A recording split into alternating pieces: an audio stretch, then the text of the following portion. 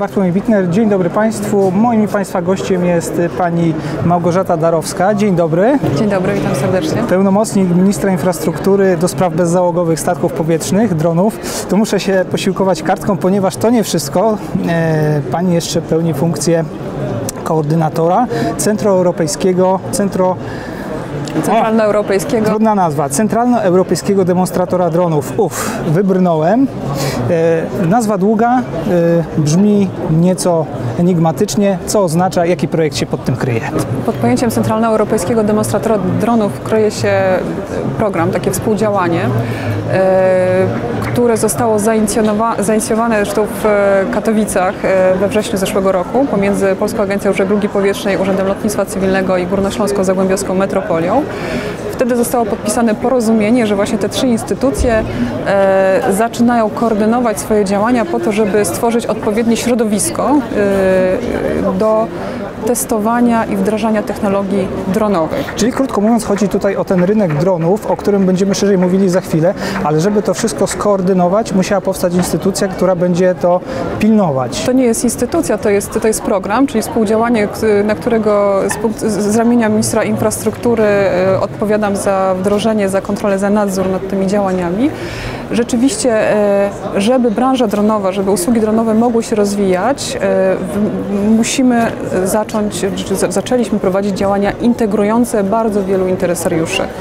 E, tak naprawdę ja ten program nazywam integratorem, e, dlatego że w zasadzie gdyby popatrzeć na nasz polski rynek, my już wszystko mamy, wszystko jest dostępne. Są e, producenci, są firmy informatyczne, są potencjalni klienci, natomiast żeby z tego powstały konkretne rozwiązania, konkretne usługi, zapotrzebowanie i rynek, to wymaga konsolidacji, takiego wspólnego, zintegrowanego działania, co jest niezwykle istotne przy współpracy tak zwanego regulatora, instytucji nadzoru rynku lotniczego, które odpowiadają za to, że ten rynek będzie rozwijał się bezpiecznie. Czyli krótko mówiąc, wy chcecie też e, spróbować pieczę nad tym, by wiedzieć, jak ten rynek, ta branża dronowa się rozwija, w jakim kierunku, gdzie są ewentualnie, czy gdzie mogą być luki, e, jak skierować e, w te miejsca no, drony, można powiedzieć, żeby tam tych luk nie było.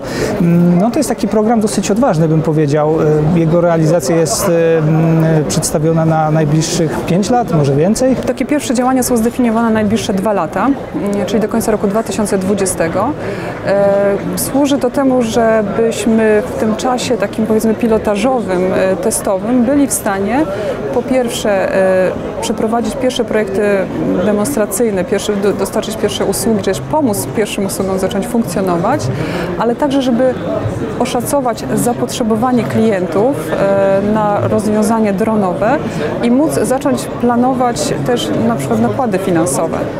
E, to jest, dlatego ten pierwszy okres jest taki powiedzmy krótszy, dlatego że to jest czas, kiedy musimy zdobyć jak największą informację o rynku i wszystkich interesariuszy zintegrować. To zanim do tego dojdziemy, to jeszcze taka rzecz. Rozumiem, że wszyscy ci, którzy są powiedzmy operatorami dronów, prowadzą e, biznes związany z udostępnianiem dronów na różnorakie potrzeby, oni mogą się na przykład e, zgłaszać do Was pod kątem tego, żeby no, realizować te usługi, które mają w ofercie. Tak to może być?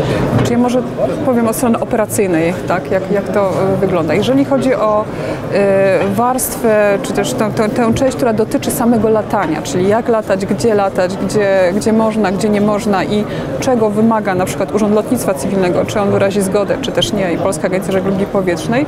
Tutaj bezpośredni kontakt, wszyscy, którzy latają, wiedzą, że najlepszy kontakt y, zapewnia Polska Agencja Żeglugi Powietrznej, Urząd Lotnictwa Cywilnego.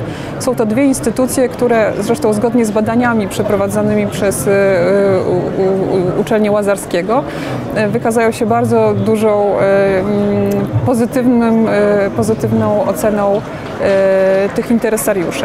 Natomiast jeżeli chodzi o konkretne usługi, które firmy chciałyby wykonywać, albo może klienci są zainteresowani ich pozyskaniem, tutaj pracę organizujemy w takich komponentach, które nazwaliśmy Drone Labami, gdzie grupujemy e, usługi w określonych zakresach. E, pierwszym takim pilotażowym, eksperymentalnym Drone Labem jest Drone Lab Środowisko, za który odpowiedzialność przyjęła e, Górnośląska Zagłębiowska Metropolia i w ramach tego działania, tutaj mamy taki proces partycypacyjny na, na, na ten moment, czyli uzgadnianie, jak usługa powinna być wykonywana, e, a jak lepiej nie.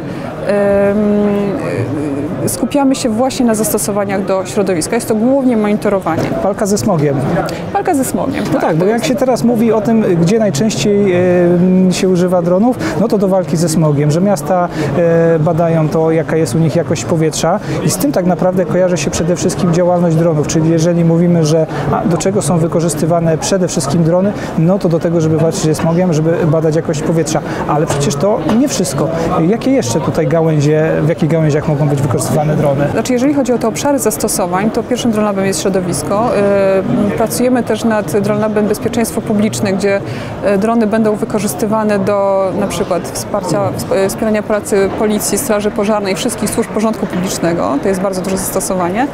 Rolnictwo, inwestycje w upraw na przykład? Na przykład, ale też w pierwszej kolejności najpierw trzeba zdecydować, które, są, które usługi są najłatwiejsze do wdrożenia i które powiedzmy będą miały najwięcej zwolenników, a nie przeciwników. A taka policja, weźmy taką policję, to w jaki sposób dron ma pomóc policjantom w poszukiwaniu osób zaginionych? To taki najprostszy przykład, ale może w jakiejś innej jeszcze kwestii.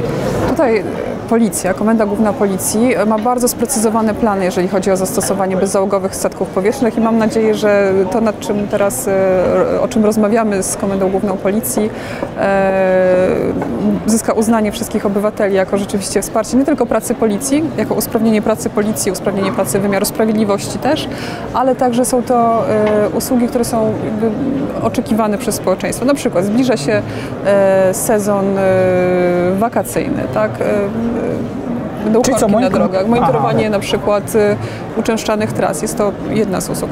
Pierwszą usługą, którą myśmy sobie zdefiniowali jako taką powiedzmy najmniej e, kontrowersyjną, e, to jest wsparcie e, bezpieczeństwa ruchu drogowego. Mm, tak, pierwszą rzeczą to jest no, robienie zdjęć po zdarzeniu, po, po wypadku. Tak? To, e, jeżeli Państwo jedą na wakacje, są autostrady, one są e, zatłoczone, zdarzy się wypadek, na bardzo długo blokuje, e, blokuje autostradę. Wówczas, jeżeli takie zautomatyzowane urządzenie pozwoli na szybkie ustalenie, co się wydarzyło, to po pierwsze będzie to wiarygodny materiał, a po drugie droga zostanie szybciej udrożniona i tym samym będzie mniej wypadków dalej, bo ludzie nie będą przyspieszać.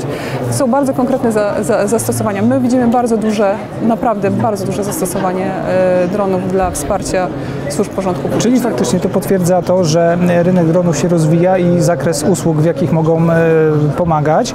E, no, jeszcze kilka lat temu to się mówiło, że dron to jest taki prezent komunijny, tak? Jak ktoś chciał taki wyszukany prezent na pierwszą komunię dać, to kupował drona i wtedy wszyscy tutaj koledzy takiego delikwenta mówili, wow, ale prezent ale to już jest przeszłość, teraz mamy zupełnie co innego i w lutym, kiedy zmieniło się e, nieco prawo lotnicze, jeśli chodzi o bezzałogowe statki powietrzne, wiceminister infrastruktury Mikołaj Wild powiedział, że za około 10 lat rynek dronów będzie wart aż 3 miliardy złotych.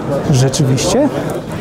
To są wyliczenia, które, e, które zostały przeprowadzone przy okazji, e, że w ramach e, badania rynku i przygotowania Białej Księgi Bezzałogowych Statków Powietrznych, którą właśnie w lutym opublikowaliśmy. To jest tylko wartość rynku dronów w Polsce do roku 2026. To są wyliczenia sporządzone wokół, przy użyciu uznanej, wiarygodnej metodologii. Jak najbardziej jest to możliwe, pod warunkiem oczywiście, że e, będziemy działać w sposób uporządkowany i tak, żeby ten rynek miał szansę się rozwijać. Natomiast ja powiem jeszcze o innej liczbie, która jest dużo bardziej imponująca, a mianowicie wartość integracji dronów do gospodarki została e, przez, tą samą, e, przez ten sam Polski Instytut Ekonomiczny obliczona jako przy średniej, powiedzmy przy takiej mm, średniej wartościach, bo mamy prognozę optymistyczną, pesymistyczną i powiedzmy taką umiarkowaną, wartość integracji dronów do gospodarki w tym samym czasie, do roku 2026 oszacowano na e, ponad 500 miliardów złotych. I, czyli to pokazuje, że nie mówimy tylko o wartości rynku dronów, czyli tych urządzeń, które, które znamy, ale o tym, jak one usprawnią procesy biznesowe, jak pozwolą zarządzać. Czyli te 500 miliardów złotych to są pieniądze, które dzięki dronom, tak mówiąc bardzo skrótowo, trafią do budżetu państwa? Albo które zostaną zaoszczędzone, bo też liczymy to pod kątem oszczędności, prawda? Ale załóżmy, jesteśmy w stanie lepiej monitorować. Sama, mówiliśmy tutaj o wypadkach drogowych. Wartość wypadków, znaczy to ile budżet państwa kosztują wypadki drogowe, jest bardzo dokładnie oszacowane, są bardzo duże liczby. Jeżeli przy wykorzystaniu bezzałogowych statków powietrznych, które jako automaty pomagają, wspierają pracę policji, będziemy w stanie ograniczyć to nawet o 10% wartości e, wypadków drogowych, to już jest konkretna oszczędność dla budżetu. I to mówimy tylko o, o wypadkach. Mówimy o inwestycjach infrastrukturalnych. E, tu z kolei oszczędności są szacowane mniej więcej na około 1%. Jeżeli wykorzystamy drony do pomiarów geodezyjnych, to można liczyć, że 1% e, wartości e, inwestycji infrastrukturalnych zaoszczędzimy. No dobrze, a czy to już się dzieje? Jeśli chodzi o geodezję, jeśli chodzi o te wypadki, czy to jest jeszcze jakaś przyszłość? Jeżeli chodzi o geodezję, to jak najbardziej drony są dość intensywnie przez geodetów wykorzystywane. Tym bardziej, e, znaczy otworzy się nowe pole, dlatego że niedługo wchodzi nowe rozporządzenie e, głównego geodety kraju dotyczące zastosowania dronów do wykorzystania, do, zas, do, do włączania zdjęć pozyskanych z wykorzystaniem dronów do zasobu geodezyjnego, co na pewno pozwoli szerzej i wiarygodniej e, wykorzystywać drony. Jeżeli chodzi o policję, tutaj sprawa jest troszkę, jest, są oczywiście wykorzystane, policja posiada drony, natomiast chciałam zwrócić uwagę na jedną rzecz. Policja y, musi mieć bardzo dokładne procedury wykorzystania dronów, tak? Jeżeli mówimy o tym... legislacja na razie. Legislacja, ale też tryb, tak? Czyli jest policjant, ma, wie, że zdarzył się wypadek, on musi bardzo dokładnie wiedzieć, co zrobić, musi to zrobić według określonej procedury. tych przepisów jeszcze nie ma, one będą. Ich nie ma i prawdopodobnie ich nie będzie, bo to będą raczej wytyczne i standardy. Więc nie mówimy nawet o No, regulacjach. ale trzeba je wprowadzić. Tak. Temu też służy właśnie Centralny Europejski Demonstrator Dronów. W ramach tych Drone Labów pracujemy nad e, wypracowaniem procedur, jak należy dronów używać, e, jaka, jeżeli mówimy o tym smogu, tak, to pytanie jest, czy jeżeli podlecimy na komin i zmierzymy, czy to będzie wiarygodna informacja, czy raczej trzeba latać inaczej. To jest konkretna procedura, jak latać. No to I wiadomo, o takich jeżeli- procedurach właśnie mówimy. Tak, no bo wiadomo, że jeżeli wlecimy tuż ponad opary, które z komina lecą, no to ten wynik będzie zupełnie inny niż ten, który powiedzmy dron zmierzyłby z I to odległości jest tam. bardzo duża różnica, bo jeżeli mówimy znowu o bezpieczeństwie ruchu drogowego, to wszyscy wiemy, że y, jeżeli dostaniemy wynik y, z fotoradaru, to pierwsze co robimy, staramy się zakwestionować radarze, ten radar był nieprawidłowy. I tutaj podobnie. E, Informacje, które będą pozyskane z droną, będą musiały być wiarygodne. I my właśnie pracujemy w ramach CEDU, pracujemy nad tym, żeby te drony, u wykorzystaniu dronów celów monitorowania dawało informację wiarygodną i żeby chętnie były wykorzystywane.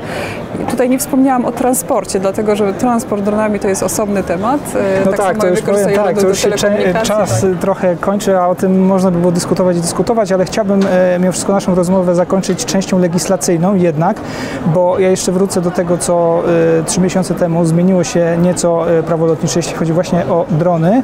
E, Czy w najbliższym czasie też planowane są takie zmiany? No bo one, co tu kryć, trochę też ułatwiają, jeśli chodzi o zdobywanie licencji i tak dalej, i tak dalej. Tak, rozporządzenie ministra infrastruktury, tak zwane rozporządzenie BIGLOS, y, ułatwiło właśnie wykonywanie lotów poza zasięgiem wzroków i dopuściło loty automatyczne. Tylko przypomnę, bo to było BIVLOS, e, WLOS i WODO. Tak, y, Czy- my, to nazywamy rozporządzeniem BIGLOS, żeby już nie komplikować. Natomiast to, co osiągnęliśmy tym rozporządzeniem, to oczywiście łatwiejszy dostęp do przestrzeni po- powietrznej, łatwiejszy, szybszy przede wszystkim czas wykonywania lotów poza zasięgiem wzroku, czyli z, z, z ponad 90 dni czas skrócił się do 7 dni. To jest dużo. Jeżeli chcemy monitorować sobie linię energetyczną, to wiadomo, że y, potrzebujemy tego już, a nie za 90 dni, bo za 90 dni będzie wynik zupełnie inny.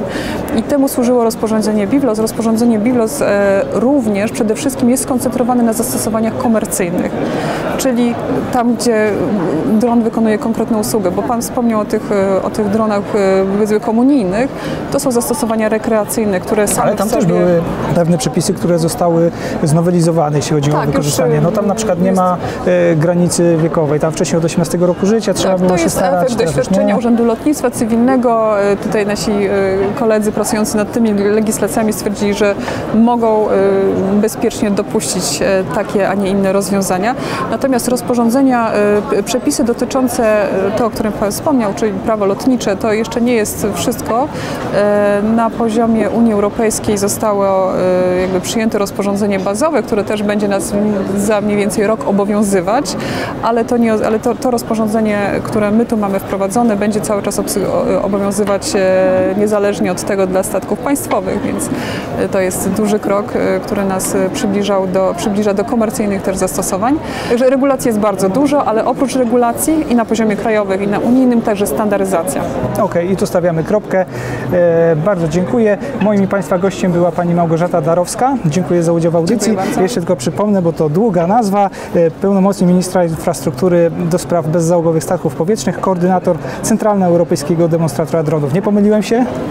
Świetnie, dziękuję. Bartłomiej Bitner, kłaniam się nisko i do zobaczenia na portalu Polskiego Radia.